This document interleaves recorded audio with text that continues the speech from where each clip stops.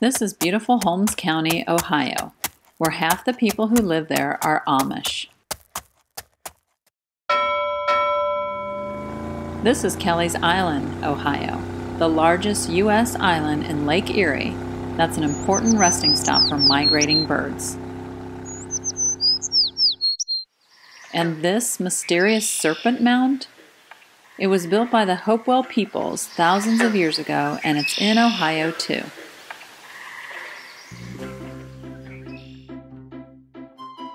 All of these amazing places and more are found in the Buckeye State, but it's a shame so few people know about them. Introducing the brand new children's book, O is for Ohio An Alphabetical Journey Through the Buckeye State.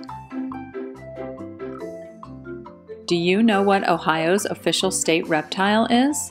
And how about Johnny Appleseed? Can you name the Orrville, Ohio based company that used his tasty apples to become one of the largest jam and jelly suppliers in the world?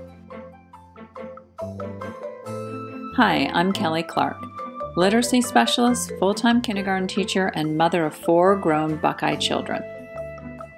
I wrote O is for Ohio to help early readers learn about the Buckeye State through rhyming, fun filled facts, and beautiful illustrations. Each letter of the alphabet starts a catchy rhyme that leads the reader on a super fun journey through America's remarkable 17th state. Plus, each page also has a fact filled paragraph that provides even more insight into what's shown in the beautiful illustrations.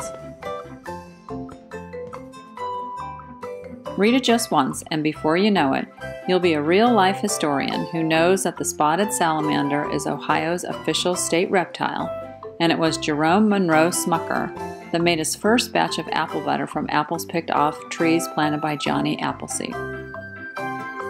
Just in time for the upcoming school year. A perfect gift for young and old alike. Get your copies of the new book, guaranteed to make you jump to your feet and sing. Hang on, Sloopy, Sloopy, hang on. O H I O.